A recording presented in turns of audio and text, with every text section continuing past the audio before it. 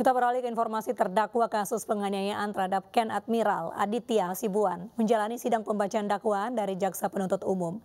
Anak AKBP Akhirudin itu didakwa dengan pasal berlapis yakni penganiayaan dan pengerusakan aset pribadi korban.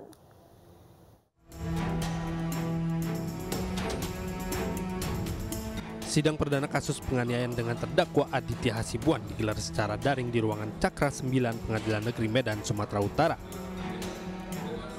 Jaksa penuntut umum Randi Tambunan dalam dakwaannya menjerat Aditya dengan pasal berlapis, yakni dakwaan pertama ke satu pasal 351 ayat 1 KUHP pidana tentang penganiayaan. Kedua pasal 406 ayat 1 tentang pengerusakan barang milik orang lain.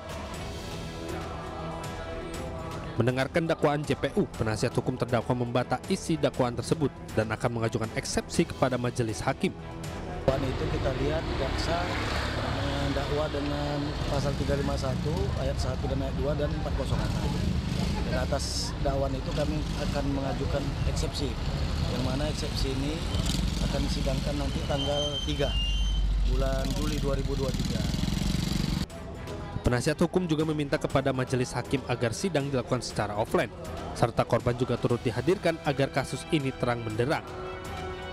Sidang akan dilanjutkan pekan depan dengan agenda eksepsi dari penasihat hukum terdakwa.